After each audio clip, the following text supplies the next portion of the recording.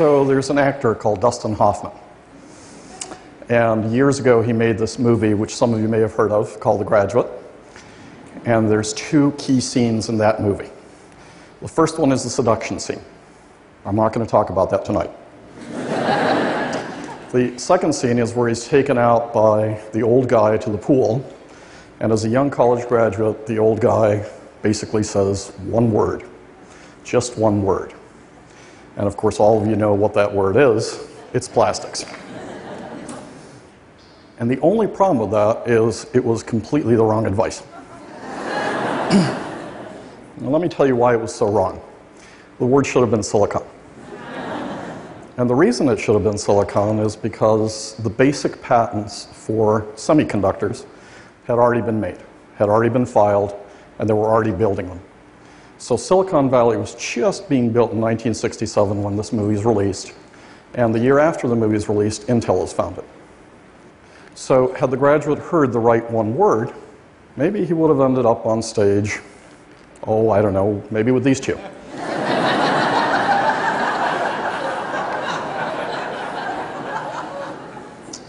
so as you're thinking of that, let's see what bit of advice we might want to give so that your next graduate doesn't become a Tupperware salesman. so in 2015, what word of advice would you give people? When you took a college graduate out by the pool and you said one word, just one word, I think the answer would be life code. So what is life code? Life code is the various ways we have of programming life. So instead of programming computers, we're using things to program viruses or retroviruses or proteins or DNA or RNA or plants or animals or a whole series of creatures. And as you're thinking about this incredible ability to make life do what you want it to do, what it's programmed to do, what you end up doing is you end up taking what we've been doing for thousands of years, which is breeding, changing, mixing, matching, all kinds of life forms, and we accelerate it. And this is not something new. This humble mustard weed has been modified so that if you change it in one way, you get broccoli. And if you change it in a second way, you get kale. And if you change it in a third way, you get cauliflower. So when you go to these all natural organic markets, you're really going to a place that people have been changing the life code of plants for a long time. The difference today, to pick a completely politically neutral term, is we're beginning to practice intelligent design. And that means that instead of doing this at random and seeing what happens over generations, we're inserting specific genes, we're inserting specific proteins, and we're changing life code for very deliberate purposes. And that allows us to accelerate how this stuff happens. Let me just give you one example. Some of you occasionally might think about sex. And we kind of take it for granted how we've changed sex. So we think it's perfectly normal and natural to change it. And what's happened with sex over time is normally sex equals baby, eventually. But in today's world, sex plus pill equals no baby. and, and again, we think that's perfectly normal and natural, but that has not been the case for most of human history. And it's not the case for animals. And what it does is it gives us control so sex becomes separate from conception. And as you're thinking of the consequences of that, then we've been playing with stuff that's a little bit more advanced, like art. Not in the sense of painting and sculpture, but in the sense of assisted reproductive technologies. Right? So, what are assisted reproductive technologies? Assisted reproductive technologies are things like in vitro fertilization. And when you do in vitro fertilization, there's very good reasons to do it. You know, sometimes you just can't conceive otherwise. But when you do that, what you're doing is you're separating sex, conception, baby. So you can't just taking control over when you have baby, you've separated when the baby and where the baby's fertilized. So you've separated the baby from the body, from the act. And as you're thinking of other things that we've been doing, think about twins. So you can freeze sperm, you can freeze eggs, you can freeze fertilized eggs. And what does that mean?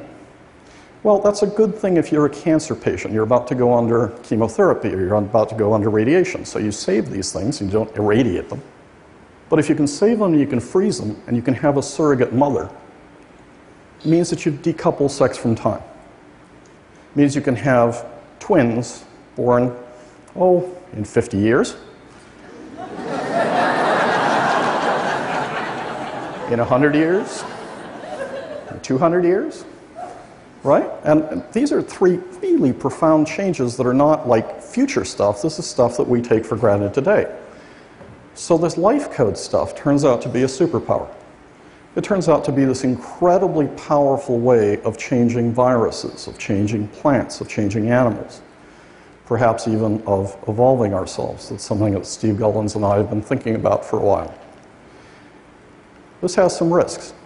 Like every powerful technology, like electricity, like an automobile, like computers, this stuff potentially can be misused. And that scares a lot of people. And as you apply these technologies, you can even turn human beings into chimeras. Remember the Greek myth where you mix animals? Well, some of these treatments actually end up changing your blood type. Or they'll put male cells in a female body, or vice versa. Which sounds absolutely horrible until you realize the reason you're doing that is you're substituting bone marrow during cancer treatments. So by taking somebody else's bone marrow, you may be changing some fundamental aspects of yourself, but you're also saving your life. And as you're thinking about this stuff, here's something that happened 20 years ago. So this is Emma Ott. She's a recent college admittee. She's studying accounting. She played two varsity sports. She graduated as a valedictorian. And that's not particularly extraordinary, except that she's the first human being born to three parents. Why? Because she had a deadly mitochondrial disease that she might have inherited. So when you swap out a third person's DNA and you put it in there, you save the lives of people. But you also are doing germline engineering, which means her kids will be, if she has kids, will be saved and won't go through this, and her kids will be saved, and their grandchildren will be saved, and this passes on. That makes people nervous. So 20 years ago, the various authorities said, why don't we study this for a while? And there are risks to doing stuff and the risk to not doing stuff because there were a couple of dozen people saved by this technology, and then we've been thinking about it for the next 20 years. So as we think about it, as we take the time to say, hey, maybe we should have longer studies, maybe we should do this, maybe we should do that, there are consequences to acting and there are consequences to not acting like curing deadly diseases, which, by the way, is completely unnatural. Right? It is normal and natural for humans to be felled by massive epidemics of polio, of smallpox, of tuberculosis. When we put vaccines into people, we are putting unnatural things into their body because we think the benefit way outweighs the risk. Because we've built unnatural plants, unnatural animals, we can feed about 7 billion people we can do things like create new life forms. And as you create new life forms, again, that sounds terribly scary and terribly bothersome until you realize those life forms live on your dining room table. Those flowers you've got on your dining room table, there's not a lot that's natural about them. Because people have been breeding the flowers to make this color, to be this size, to last for a week. You don't usually give your loved one wildflowers because they don't last a whole lot, a whole lot of time. What all this does is it flips Darwin completely on his head. See, for four billion years, what lived and died on this planet depended on two principles on natural selection and random mutation. And so, what lived and died, what was structured, has now been flipped on its head. And what we've done is we've created this completely parallel evolutionary system where we are practicing unnatural selection and non random mutation. So, let me explain these things. This is natural selection. This is unnatural selection. so, what happens with this stuff is we started breeding wolves thousands of years ago in Central Asia to turn them into dogs. And then we started turning them into big dogs, and we started turning them into little dogs. But if you take one of the chihuahuas you see in the Hermes bags on Fifth Avenue and you let it loose on the African plain, you can watch natural selection happen.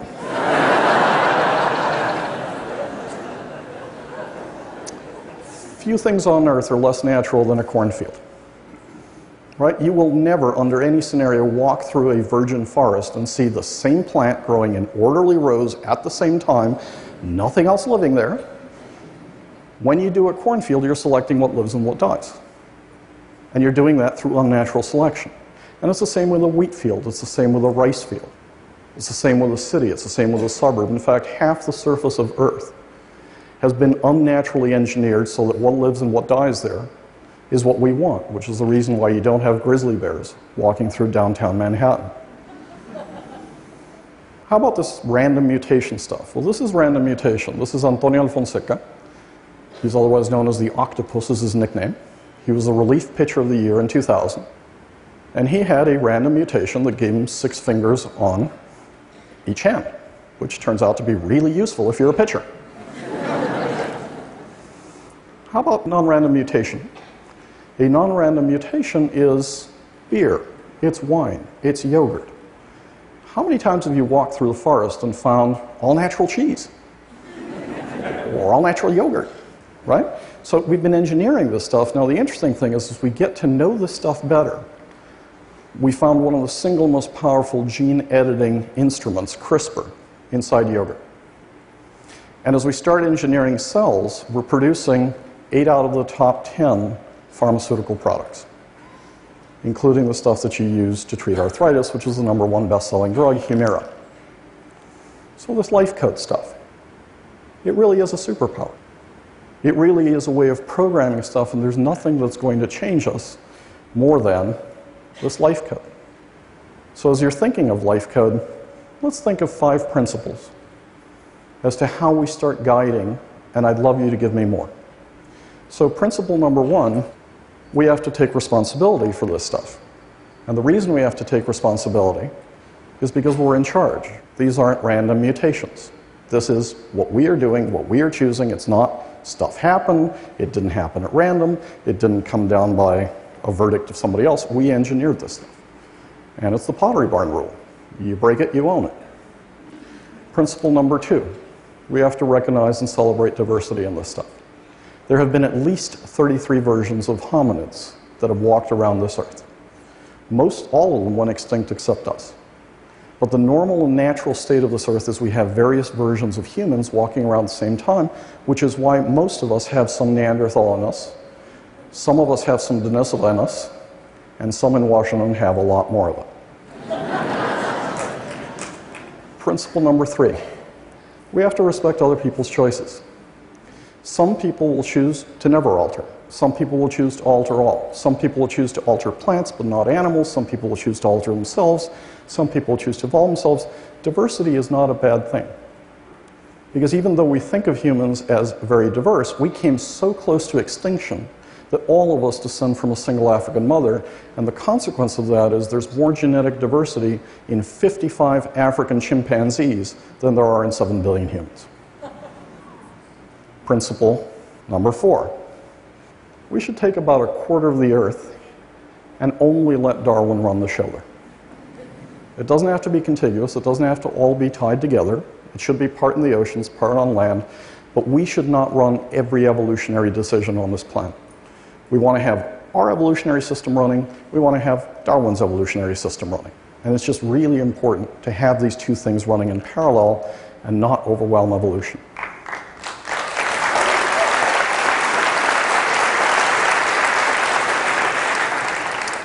Last thing I'll say this is the single most exciting adventure human beings have been on. This is the single greatest superpower humans have ever had.